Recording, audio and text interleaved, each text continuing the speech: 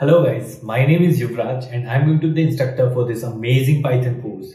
This course is presented by PyCoding Tech and this is absolutely free available on YouTube and in this course we are going to start from absolute basics like installing Python to your computer, what is Python, why do we use that to building a full fetch project with the Python. So if you guys are excited, hit the like button, subscribe and follow us for more.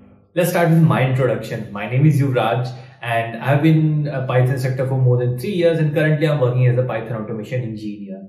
So I pretty much work with Python alone and this is my basic introduction related to work and now you must be wondering uh, what is Python and why do we uh, why do we need that and how different Python is from other programming languages. So first we'll discuss what is a programming language. Programming language is nothing but a set of instructions we give to a computer in order to perform certain tasks. For example, let's say we want to make our computer say let's say turn on the screen so i just click on the button and it turns on the screen right so it's kind of a command we give our computer so same in the way we give some commands through code to our computer to perform certain tasks okay so that's how programming works now there are certain languages we use for programming or coding. So you must have heard about JavaScript, Java, Python, C, C++, C Sharp and multiple. There are thousand plus programming languages available.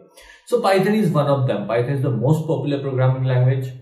And uh, why Python is popular? Because the readable syntax. It's easy like English. You will be learning it uh, when when you start learning. You'll be feeling like okay, you are learning English. So let's jump into uh, learning Python.